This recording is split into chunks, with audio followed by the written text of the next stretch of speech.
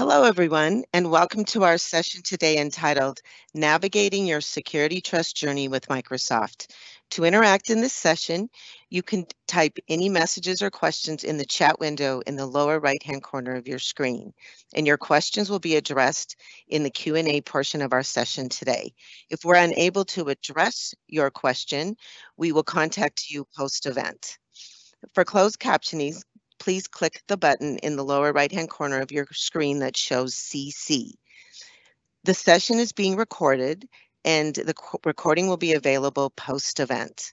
At the end of the session, we will be sharing a brief survey. To complete this survey, we would appreciate you doing that before the end of the session.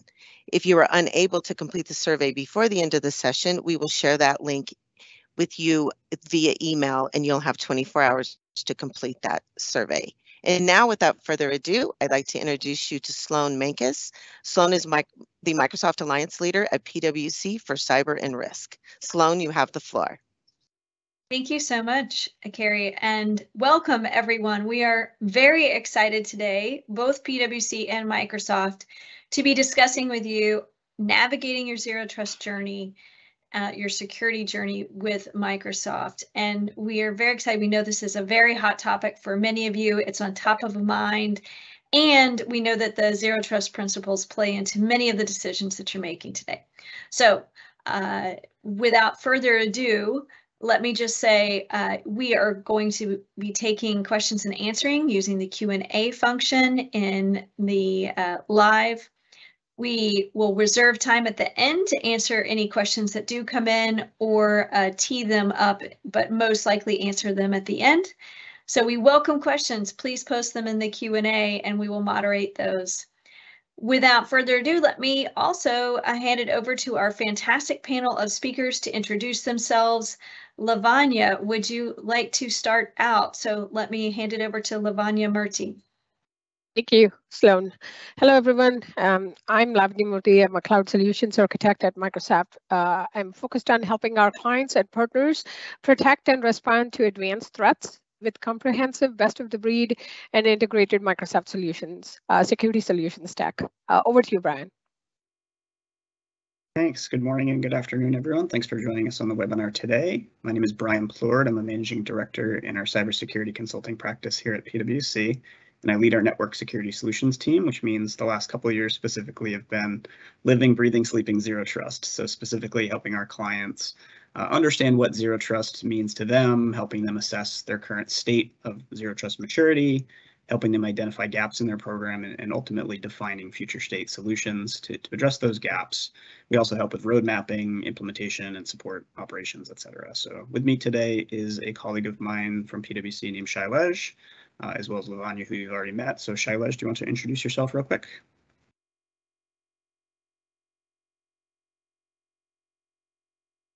You're on mute, Shailej.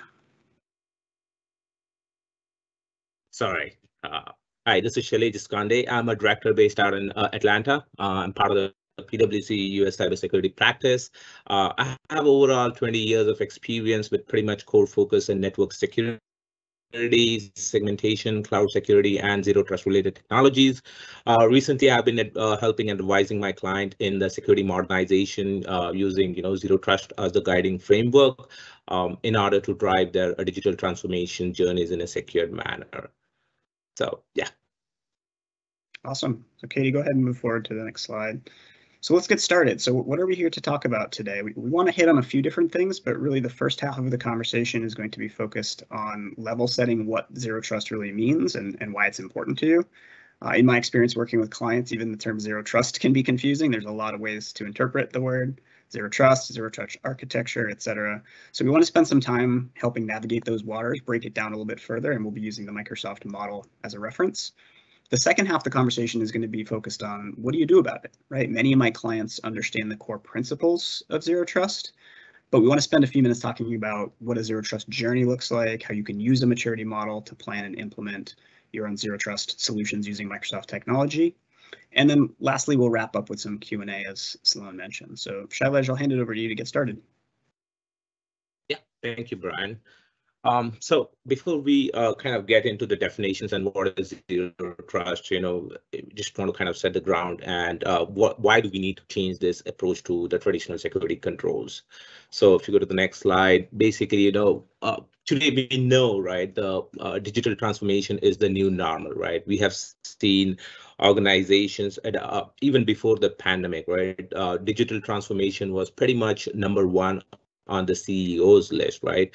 Um, and for example, the consumer buying preferences were changing. For example, Amazon's and um, you know uh, uh, Uber's and Airbnb, right? So it was completely changing the preferences in a uh, using these internet connected uh, technologies. So what is really happening uh, with this is you know uh, the the whole journey the with the with the transformation coming into play. It has brought uh, uh, consumer preferences were changed and uh, uh it has brought uh, cloud technology. So the cloud has been a core foundational pillar for digital transformation. So it has brought multiple technologies with the uh, consumer preferences, and that has really changed the way how we look at security. Um, so what has really happened is uh, it has also bought the attack vectors. Uh, you know, the attacks were always happening, but with these new technologies coming in, security was, you know, very much at the forefront of it, right? And it put dual pressure with the changing platforms and technologies. It put dual pressure on the security team, which was always never thought of as these technologies were introduced. And, you know, of how do we modernize those security architectures, right? With the pandemic came coming in, we were looking at, you know, diverse workforce. Those workforce were working from home home, works for coffee shops. Uh, they were using a different set of tools like laptops, non-managed devices. They were bringing their own devices uh, to access the corporate applications. So it was completely uh, changing the way we work, and those risks were evolving. And that's why a, an approach change a city was much needed. And that's what I would say uh, zero trust architecture It's kind of the transformational thing which is required to address this today's reality. So uh, having said that, if you go to the next slide. Um, so uh, with these transformations uh, and new technologies coming in, the threats have been evolving, right? So we have always seen uh, multiple of these threats uh, coming in the past, but the number of these incidents have increased drastically in the last few years. For example, the third party compromise, right? We've seen it, one of the biggest retail chains, their credentials and credential theft, 80% of the thefts, you know, are through uh, stolen credentials. So we see, you know, bypassing the perimeter defenses and then using your backend uh, you know IoT or edge devices to gain access to the uh, critical systems. So that that is one of the uh, threat attack vectors. Social engineering again, you know, an email coming in, so it again bypasses your perimeter defenses. Um, email which considers to be legit uh, gets into your inbox and you click in, and then an outbound initiation, and then you know the attacker can take uh, control of the systems. So as the uh, ransomware we have seen recently, the gas um, uh, threat what we have seen which has impacted a lot of uh, customers. Again you know lack of segmentation the malware propagates from one systems to another systems and it breaches the trust which is there into your internal systems as we move on, you know, cloud data exposures, we have seen, um, you know, multiple of those attacks as organizations move from on-premise systems to the cloud, assuming the security uh, cloud is much safer place to host data. That's not the case, right? If you do not have the right set of controls, which you have on-prem in the cloud, your data is exposed. And we have seen multiple examples of that. Uh, same goes with lateral movement and insider threats as well. Uh, you know, with a lateral movement, you know, one system getting compromised, it can laterally because of the flat network, uh, you know, system uh, attacks moves from one system to another, and that's how the breaches happen. So one common element in all these evolving threats uh, is basically uh, anchored on traditional perimeter-based security strategies, where we assume that the perimeter is that boundary. Everything inside the perimeter is trusted and you know if you are coming in from outside you are you are not trusted i think that is the main uh, challenge which we need to change as we look into evolving uh, our, our zero trust architectures so uh, you know if we go to the next slide we'll we'll talk about the definitions and how does really zero trust, Microsoft Zero Trust architecture help you address these uh, common threat attack vectors. So uh, if we go to uh, the definition, what is zero trust? And we've been hearing this from multiple vendors. Everyone has a definition. It's, it's as confusing as what it was for cloud transformation and digital transformation really see uh, before we get into the definition what it is not a zero trust right for example it is not one single vendor it is not one single product it is not one single framework uh, it's not a single technology it is not about modernization of your VPN. Um, it is not about just deploying next generation firewall. So what is really zero trust, right? So uh, the way I look at zero trust, it's basically three things. One is it's an integrated security platform which uses contextual signals uh, across your entire digital footprint, right? So it uses contextual signals from your users, device, infrastructure, network, services, and it uses the data to create dynamic set of policies, right? And that's very critical. So you have, um, it's integrated because it has to work across the entire digital footprint and across different security platforms. It uses contextual data. When I say contextual data, means who the user is, what device is trying to access, from which country is trying to come in. Based on that, it creates some kind of uh, risk scoring, and based on that, it create dynamic policies. And dynamic policies is extremely important because you can step up your authentication based on the user identity and and from which devices it comes in. So again, uh, the premise here is that you know we need to move from uh, zero trust across the entire digital footprint, we need to move from a static network-based perimeter pretty much towards the user assets and where they are trying to access those resources. That's why they say Gartner is coined the word that identity is the new perimeter. You know, the users have been accessing all these services from pretty much any location using any device. So those security controls needs to be very much closer to the uh, to the users and the devices what they are accessing from. Um, and again, as, as we get into the zero trust architecture, we need to assume there's no implicit trust grant to these users into the network doesn't mean that you have pretty much broad access. Yeah. So, so I'm going to jump in. Can you turn your video off? Your audio seems to be really um, delayed and garbled. So I'm thinking maybe if you turn your video off, it might help. Okay, sorry. Uh, I'll, I'll speak and hopefully it's get better. so, um, so yeah, so I think uh, with with the definition, which I just kind of you know explained, uh, there are three real principles we are talking here, right? In order to build that zero trust architecture, one is uh, verify explicitly. What that really means is every transactions, and that transactions could be between two machines, between two users, uh, you know, and trying to access your application data needs to be authenticated and authorized in a ma and it needs to be encrypted as well. And it needs to happen on a continuous basis uh, so that, you know, every each of these transactions can, sorry, each of these transactions can get authenticated and authorized in a seamless manner. Use least uh, privilege access. That means, you know, just in time and just enough access to those uh, transactions.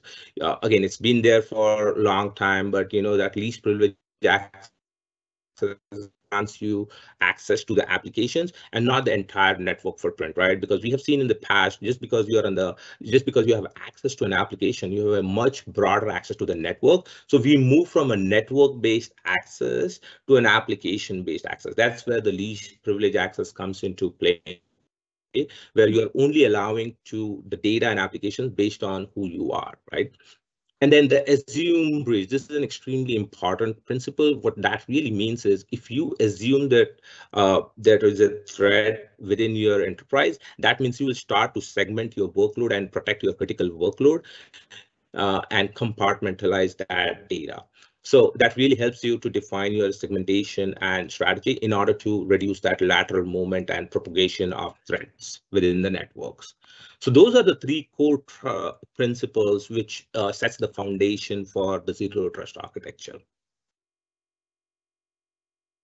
Now that we have seen those three principles, uh, you know, there are six core pillars against which you apply these principles, right? The first being uh, the identity. And again, this is across zero trust is just not about network or about users. It's about pretty much everything. That's why it's pretty much integrated across the whole ecosystem. The first one being identity, right? You've got to make sure that your identities, your users, you know, uh, you you have you could have multiple uh, identity platforms in your organization. How you can consolidate those and try and start using the cloud-based identity programs where leverage multi-factor authentication where you can leverage single sign-on uh, and all those capabilities, which then allow you to get rid of the credential thefts, right? That's why having a single source of truth, be in the cloud, be in the on-prem, and having a good, solid single source of truth is extremely important for, for the whole zero trust uh, architecture. The second one being the devices, the devices which we generally use to access the applications and data which resides in your data center, right? So as you use those devices, how can we make sure that those devices are managed uh, and they have the right set of checks and balances before granting them access to the network, right? So you do kind of a posture assessment, make sure that it has the right set of patches, everything is in place, uh, it has the certificate installed, you know, all those things are in place before you kind of allow access for that particular device to your corporate resources. Um, and then you get into the applications. The applications is the business logic through which you access your data. Again, the same uh, principle follows in terms of you know making sure that application have enough. Uh, you need to know what uh, these applications should have access to. So, you know, the right level of access, you know, apply the least privilege control if the application doesn't need to have an access to a critical database, make sure that is confined and all those principles are applied to the applications. Infrastructure is basically what you host your applications on. So it could be a serverless infrastructure structures, it could be a containers, it could be a virtual machines, it could be a physical servers. Uh, you know, how do you assert least privileges on this infrastructure? How they have right set of patches? How do you make sure that you know there are uh, uh, those systems do not have any vulnerabilities? Use the latest versions of operating system and so on and so forth.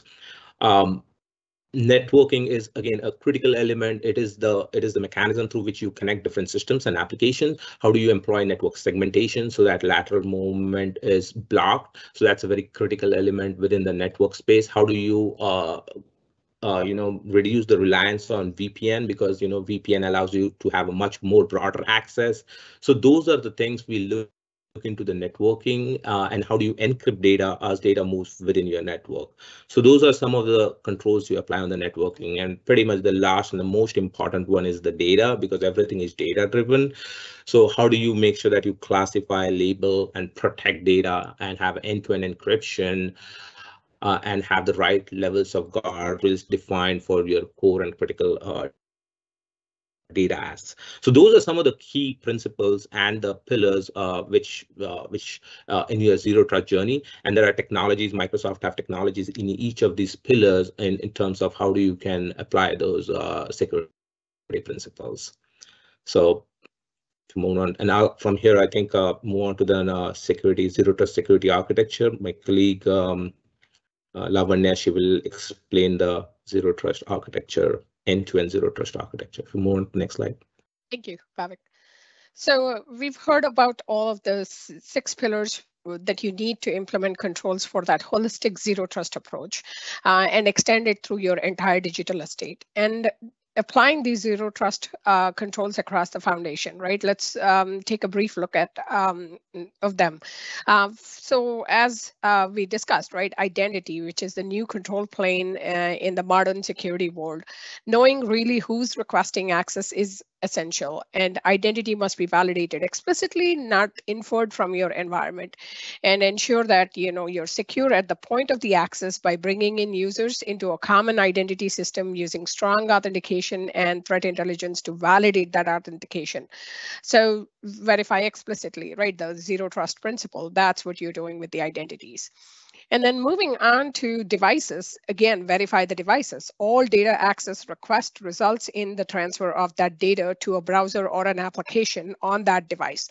Knowing that state of the device is really critical in the world where, you know, devices are BYOD, it could be infected, lost, or stolen, where you do not have complete control on those devices. Um, so ensuring that you have mobile device management and mobile application management are critical to protect the data once it has been accessed on that device. So once you do those two pillars, then let's talk about data. Wherever possible, that data should be protected from unauthorized transfer by automated classification and encryption. And this protects against intentional and accidental misrouting of the downloaded data. And it's from both bad actors, external, and your insider uh, um, uh, uh, uh, users as well to protect from insider risks. And then hardening applications. So application access and configuration must be secure to mitigate the intrinsic application risks and ensure that it is governed by the policy. Uh, application behavior, including shadow IT, uh, should be understood to, and monitored to protect from those anomalies and then protecting from the infrastructure regardless of where it is hosted where uh, what type of workload it is whether it is hosted in hybrid or multi-cloud or it's a IaaS workload or a PaaS workload ensure you're really utilizing the cloud fabric according to the best security principles and utilize that intelligence um, to uh, pr provide protection. And then govern networks, mitigate those lateral movements by using adaptive segmentation uh, of the workloads and monitor and protect from the anomalous traffic patterns. So once you implement these controls across these six pillars, how do you tie it all together? The key is really tying together. That's where the Microsoft's value proposition comes is that key integrated policy driven access. So in addition to that microsegmentation, it means more than networks, right? That microsegmentation is at the device level, at the user level, and also requires you gate access based on the low uh, role of the user, the location of the user, the behavior patterns, the data sensitivity, the client application that it is being accessed. All of these are uh, crucial to implement that zero trust across each of these pillars and tying it together in that policy driven access, which is automatically enforced at the time of the access and continuously throughout the session, right? It's not you've validated at the beginning and then you're done, but you know, it's that continuous access evaluation for changes in the uh, access if it needs to be protected against. And then automated threat and detection and response. So telemetry from these systems above uh, must also be processed and acted automatically. So attacks happen very rapidly and your defense systems must act at uh, that rapidly as well, right? And humans just can't react that fast enough. So you really require integrated intelligence and policy-based response for that real-time protection. And then finally, visibility and analytics and automation, um, because this, key, uh, this key integrated intelligence, which is policy driven and real time, needs that automated threat protection so you can combat threats in real time. And because we really believe that organizations should embrace zero trust to protect against advanced threats, we've implemented these zero trust principles into each and every uh, service and product that we've built. Our integrated solutions offer that built-in zero control uh, trust control so you can implement security at a scale for the in, across your entire digital estate, regardless of you know uh, whether it's hosted in hybrid, multi-cloud, or regardless of what workload type it is. Um, over to you, Brian. Awesome, thank you. So now let's transition into talking about how you implement zero trust. So this first half of the conversation was kind of level setting expectations. Now we'll talk a bit more tactical in detail. So really zero trust should be thought of as a journey, right? There's no silver bullet. There's no single technology solution that will get you there. Shailesh already mentioned that. You, you can't buy a commercial off the shelf product today at least and slap it in and all of a sudden you're zero trust. Doesn't exist. So you need to think of it as a journey that builds with increased capability over time as you grow in maturity. So the first step in that journey is to define and understand the components that you're dealing with, right? We use the term ecosystem. You'll hear me use that term a lot. Um, it, the Microsoft model uses six architectural domains to represent that ecosystem. It, the 800-207 guidance from NIST, if you've read it, doesn't do a great job talking about zero trust as an ecosystem. It's very focused on the access proxy model, which is your subject, accessing a resource through a policy decision, and enforcement point. There's a lot more to zero trust than just that, and you need to consider other components that work together to make all of this happen. Now, in terms of achieving zero trust, you're, you're going to do it through making measured advancements in each of those architectural domains. One thing to think about as you, as you think through your organization's maturity towards zero trust is that it, it needs to be holistic, right? Becoming mature doesn't mean that you become very mature in just one area. You, you need to define appropriate maturity targets for each area, um, which ultimately should be defined and driven by your overall security strategy, right? It's not just to say that, that all six of these areas in the Microsoft model need to advance at the same time, right? You, you can move up in maturity slowly across each of the areas, but you don't have to. It might make sense for you to dive deep into one area that's important and relevant to you uh, and focus on other areas down the line you need to remember this is about continuous improvement. This is going to take a long time. This is not going to be a big bang, quick win approach. I'll talk about the maturity assessment a little bit later, but really part of the journey will be understanding where you are today, setting those realistic and achievable targets for where you want to be in the future, and then highlighting areas um, that might fall below that target mark for each of those areas, right? Un understanding the gaps you have in your environment today so you can understand what you need to do to address them going forward. Once that's done, you can build actionable roadmaps to, to really help move forward towards zero trust, which we'll talk a little bit about later. Okay, if you want to jump to the next slide. So what we have on this slide is the, the Microsoft Zero Trust Maturity Model, and you'll see the three levels here of getting started, advanced, and optimal. Uh, there's a few maturity benchmarks from, from the model that are listed here. They're all publicly available on the website, which we linked down below as well. But really, there's the six architectural pillars, and there's specific technology capabilities that you should have in place at each level to be considered, you know, mature in that area. What I'll say here is that there are a number of different maturity models out there, right? PwC has one. This is the Microsoft model. You've probably seen others from Forrester and CISA. Um, while not all of the models are perfectly aligned, they all do a great job of, I, think, differentiating capabilities at each maturity level. And they're all mostly covering the same architectural buckets, right? Identity, endpoint, network, applications, data. Those are kind of the main five areas that each model hits on.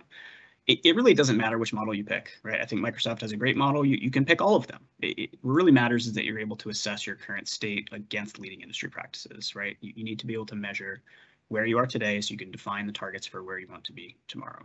One other comment I'll make here is that you really should feel free to customize the model to your own needs, right? I, would say keep it simple is, is my advice when I talk to clients. Most of these maturity models are, you know, comprehensive, and I'll use air quotes when I say that. And, and what I mean is they're just bloated in some cases. There's a, a lot of material in these maturity models. And, and there's a fine line to me between um, what capability should be considered zero trust versus what's just good security hygiene, right? Like there are maturity models out there and certain aspects of them might not um, be ready from a zero trust perspective. A good example is the White House memo that some of you may have written uh, read recently that was defining requirements to achieve zero trust for federal agencies. Um, some really good stuff in there. It's it's about how to take zero trust and make it actionable. The problem is certain aspects of that I don't necessarily agree with as being certain tr zero trust, right? So one of them is that um, you have to have a vulnerability disclosure program for any public facing websites, right? I, I love that. That's a great security requirement, but it, really doesn't have anything to do with maturing towards zero trust. So really what I'm trying, to say here is um, in order to make this actionable, you should think through what's important to you, slim down the maturity models as needed to keep it simple and, and make it more realistic. Let's go ahead and jump to the next slide, Katie. I guess it's not Katie, sorry, it's Bob. Uh, so what I want to share on these next two slides that are coming up is, is actually how to move forward with Zero Trust using the Microsoft methodology. So one more slide, Bhavik. So the first slide I'll share here is it's our methodology on how we implement zero trust at our clients. Pretty much every one of our clients at this point is a Microsoft customer, right, in some form or fashion. Some are, you know, all in on Azure and those services, and others might just be using, you know, Active Directory internally for authentication, right? So it, regardless, it makes sense to think through where Microsoft and Microsoft technology will fit within your own zero trust journey, whether or not you're all in on the Azure stack or whether you're just using individual components. But when a client comes to us and says, you know, we help implementing zero trust using Microsoft technology, the, the way we break it down from an implementation perspective is, is to these three buckets. The first step is to build a secure foundation. What we mean is in order to enable zero trust policies, you have to have specific technologies in place to provide context, those rich signals from the endpoints, from the users, in order to make decisions. You, you can't do it without it, right? So in the Microsoft world, it's, it's managing your identities, it's managing your devices, and it's managing those endpoints. So before we can enable zero trust policies, we have to make sure that some of those foundational tools are in place, right? These are things like Azure Active Directory, Azure MFA, Intune, Defender, etc. Simply put, you can't do context-based access control until you can collect context or telemetry from the user or the device. Okay, so once that's in place, that might be a multi-month, multi-year effort, depending on how far you want to go to deploy those technologies. Uh, once the foundation has been built, we can talk about using the technology and interpreting signals from that technology in order to control access to applications and resources. The way we do that in this middle box here is using the conditional access engine along with some other applications that Microsoft has at their disposal. Uh, effectively help clients build their policies to interrogate the contextual user user uh, information, the device information, the application information, um, network location, where the user is coming from, as well as session risk, and then make the decision to either allow, deny, or restrict access, right? That That's the traditional 800.207 access model, access proxy model. It's using uh, conditional access as the policy decision point and the policy enforcement point to control the access to the resources. So once you're able to collect the device signals, we interrogate them to make uh, decisions, you're effectively doing zero trust, right? Obviously, as you think about maturity and improving your program over time, you'll be layering on additional technologies, you'll be layering on additional signals and additional context to make decision. But really to us, the, the last step in kind of a holistic model is looking at the other components that need to be considered to further secure the resources specifically addressing threats associated with lateral movement, both east-west within the data center as well as north-south into the data center, um, within the cloud, between clouds, to on-prem access, et cetera. And, and the way we do that is through various network segmentation solutions um, using you know, native Azure tools like VNets, NSGs, Azure Firewall, but also using some of the Office 365 capabilities of uh, Cloud App Security, Azure WAF, um, Azure AD App Proxy, etc. The, these technologies either operate as standalone security controls or they integrate with conditional access to help further restrict access to those applications based on both least privilege as well as the context that's defined. All right, next slide, Bhavik.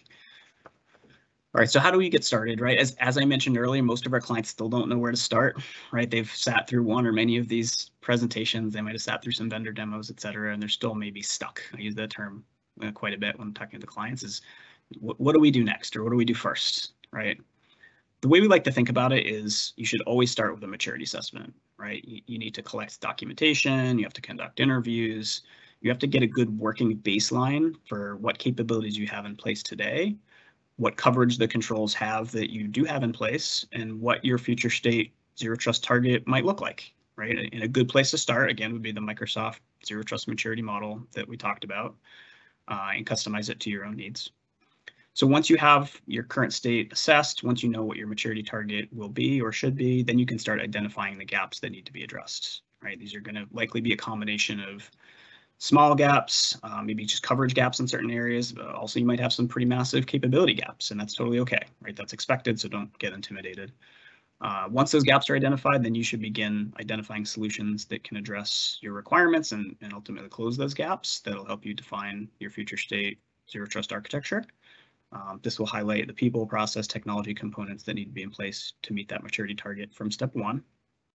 And then lastly, begin reviewing the gaps and tech solutions and, and start coming up with a plan to address them. Right, we think of this as the road mapping phase, right? Scoping out you know, how much effort it'll take, what the cost will be to close that gap, bucketing different initiatives and grouping them uh, with like-minded initiatives, prioritizing them, right? My advice is always focus on some quick wins first, right? Structure the projects that you're working on with higher impact projects up front that have pretty low resource requirements.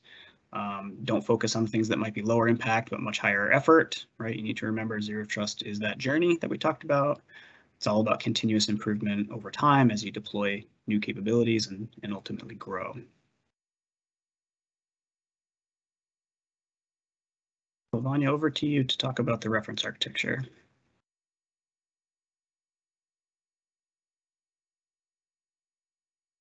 Uh, you're on mute still, Lavanya. Um, so we'll talk through Microsoft Cybersecurity Reference Architecture. We'll look at various products and capabilities in here. So this architecture is available at aka.ms.mcra for you to look at in detail later on. It's a bit of an eye chart. So Microsoft takes a holistic integrated approach to the capabilities to really drive that simplicity and effectiveness, right? So first of everything is based off our uh, capabilities uh, that we collect uh, from the same underlying system that spans across every single product with 8 trillion signals per day um, uh, of context. And then we use agents or control points, um, again, a single a endpoint agent or a policy to control multiple different functions where possible, right? For example, if you look look at our Defender for Cloud. Uh, apps, perform it performs governance, it performs threat detection, it performs information protection, all through a single agent. And to have that consistent experience where possible right you know we provide that integrated consistent experience per role, per task, per outcome. Um, for example, again, if you look at our Microsoft Information Protection, or now it's called Microsoft Purview, um, it has a single label for data that can be used for security, for data retention um, across clouds and platforms and operating systems.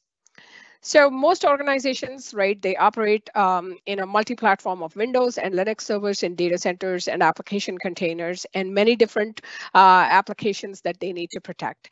And they start their security with the core set of security capabilities at the network edge or egress points uh, to protect from the extranet and the intranet resources.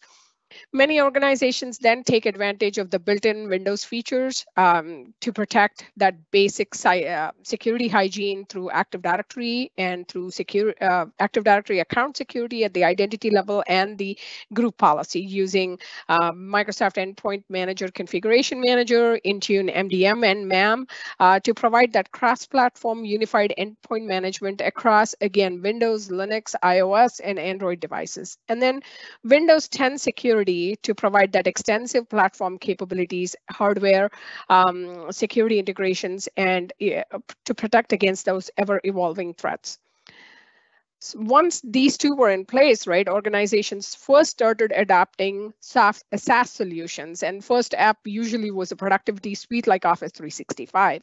And this created the need for to evolve that access control beyond the firewall, beyond um, you know the perimeter to secure those cloud identities. And this is where the identity has become that new control plane. And it's not only for users and um, uh, yeah, uh, but also for workload identities. So this could be your applications, it could be your mobile devices, it could be your IoT devices. So Azure Active Directory not only provides single sign-on uh, to eliminate that passwords, but you know give truly strong authentication with passwordless and Microsoft and multi-factor authentication capabilities. So you have uh, Hello for Business for biometric authentication, you have Authenticator app, you have FIDO2 uh, two keys, regardless of where your organization is in the journey to become that passwordless or on that strong authentication journey, you have multiple options. Then we layer that with our identity protection with leaked uh, credential protections, um, which bring in behavioral analytics and threat intelligence um, to those identities. And then our Azure Privileged Identity Management, which reduces the risk by providing just-in-time access to privileged accounts using approval workflows. And then all of this identity solutions also need governance, right, to ensure that right people have really right access to the resources. And these identities not only span uh, your employees, right, your user accounts, but also partner and customer and citizen citizen accounts. Because no, gone are the days where you know you're you're just working within your organization. There are um, almost in every scenario you're collaborating externally with partners, and you know your consumers uh, are increasingly, as mentioned at the beginning, right, want different experiences. So you have our Azure uh, B2B uh, and B2C capabilities to provide this. All of this is layered with our conditional access, which applies those three zero trust principles we talked about earlier, right? You know, verify explicitly, least privileged access, and um, to ensure that your control decisions are explicitly validating those user endpoints and uh, users and endpoints that are requesting access to the resources. So this has become the de facto security perimeter now uh, because, you know, that it's it's no longer network, it's just modern identity and endpoint uh, services. And then we don't leave behind uh, your uh, hybrid applications, right? We have Azure AD App Proxy, which extends those modern access control approach to uh, on-premises resources, or if you're still leveraging VPN, um, right, you know, extends those capabilities to that access to ensure that you can apply through conditional access, um, that least privilege access and validate that device trust, validate that identity.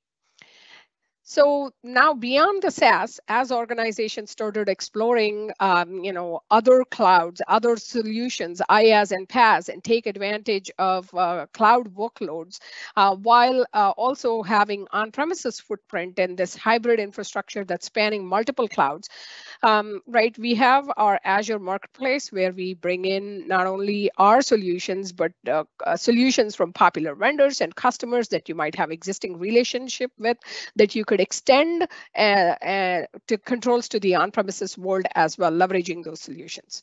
We also provide something called Private Link, which helps you to extend those um, uh, networks to from your on-premises to the PaaS services and to used by the applications.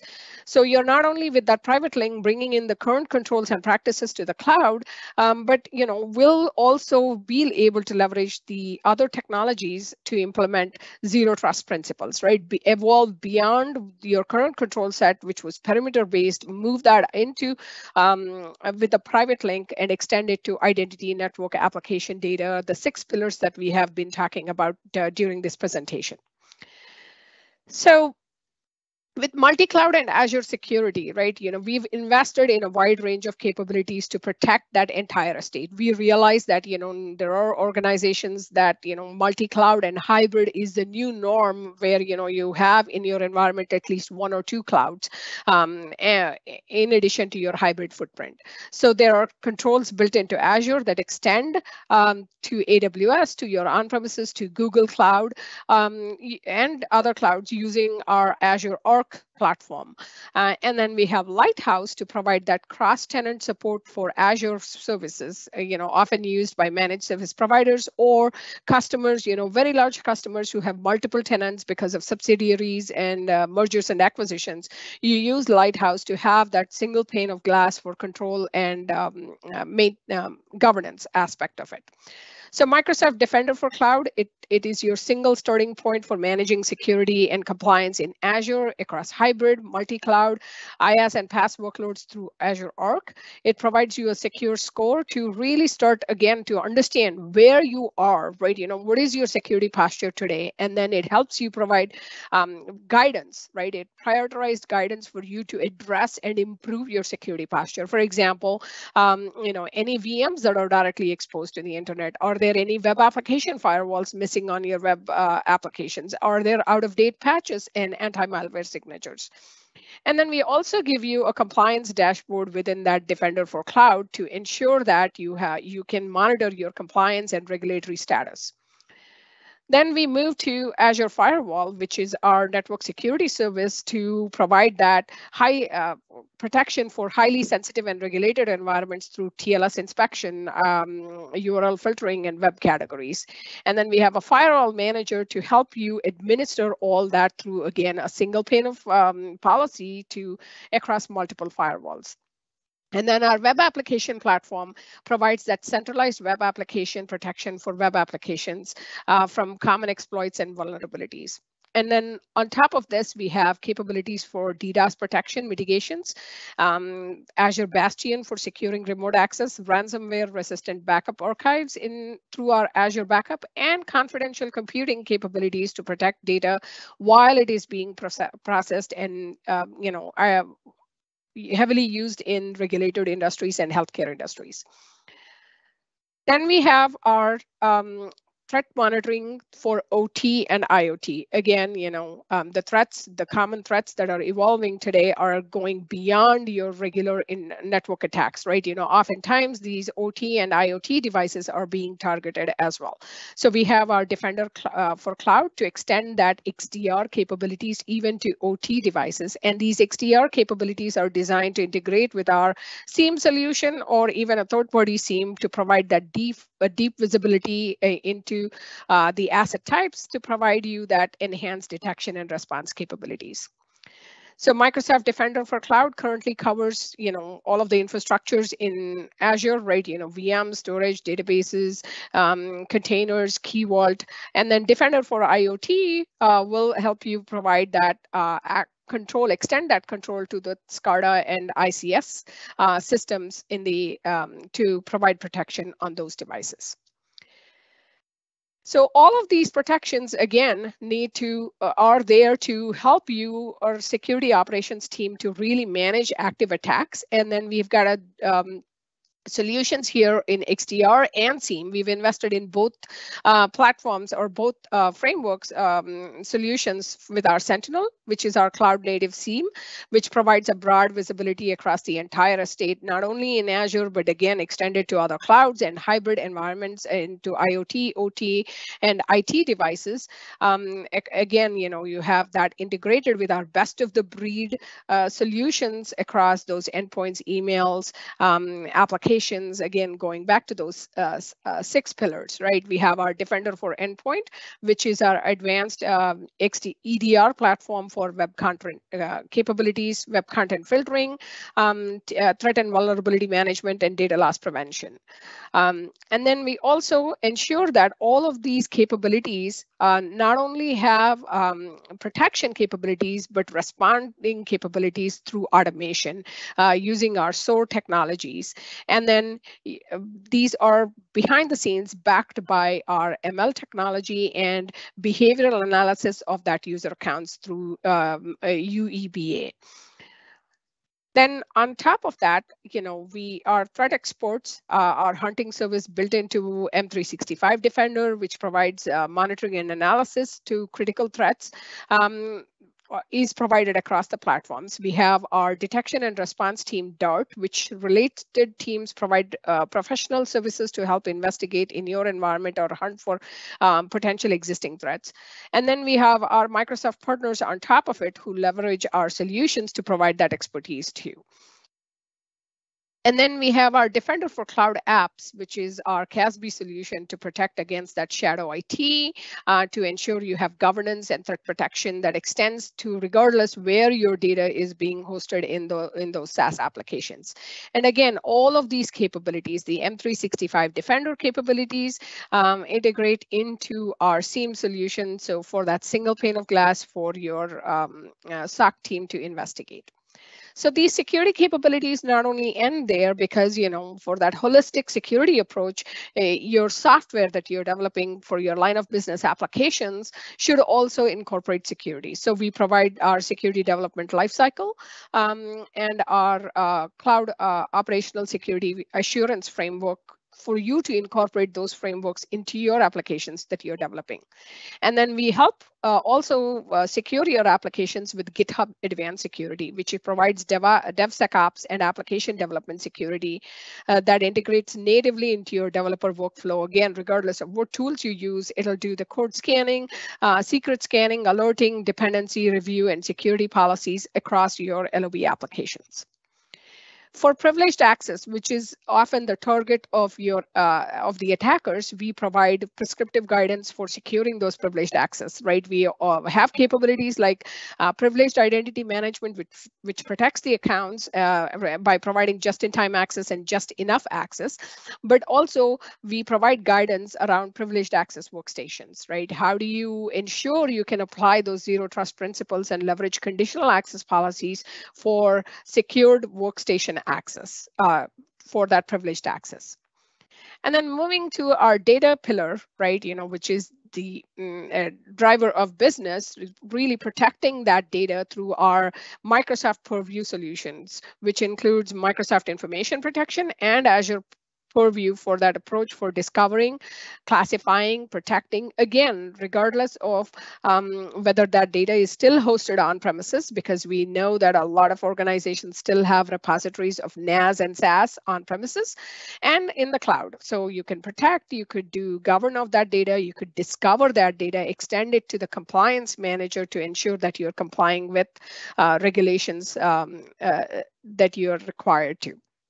So you have both secure score, which gives you a proactive security approach, um, posture improvement approach, and then a compliance score, again, a proactive approach to ensure that you're always compliant.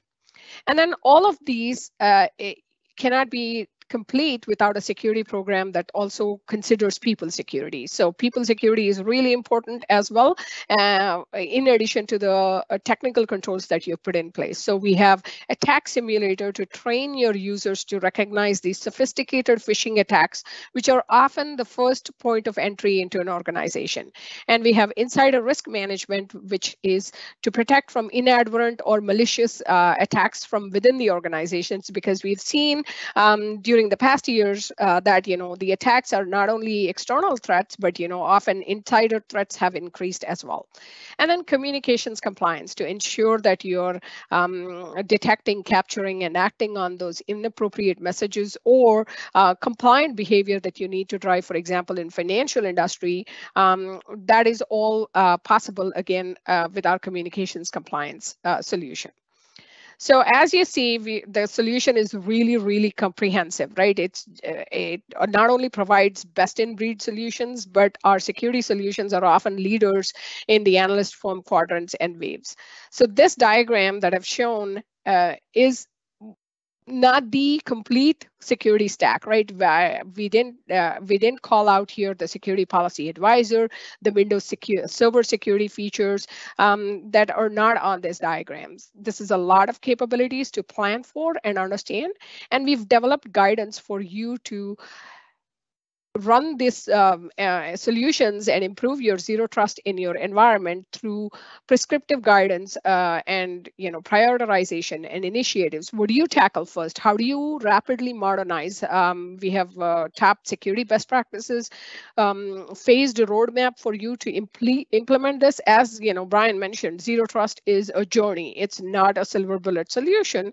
So we have patterns and frameworks with cloud adoption and well architected frameworks that that you leverage and start that journey to implement um, uh, the end-to-end zero trust security.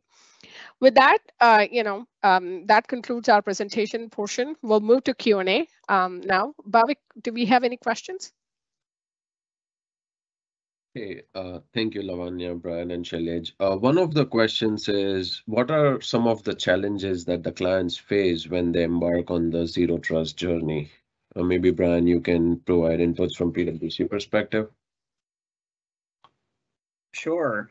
Yeah, so I, there's a, a, lot of challenges, and as I think, as I mentioned, one of the biggest challenges is just where to start, right? Where to begin. But from a technology perspective, maybe one of the biggest challenges I'm hearing is uh, as we think about device context or user context as kind of the primary one of the core tenets of zero trust.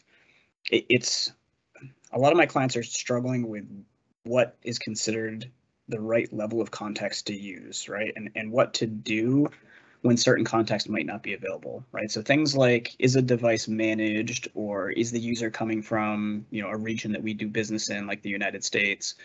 It, those are really easy to get context on and then provide access restrictions around, but there's there's others that are a lot more difficult, right? Determining user behavior and what's considered normal, right?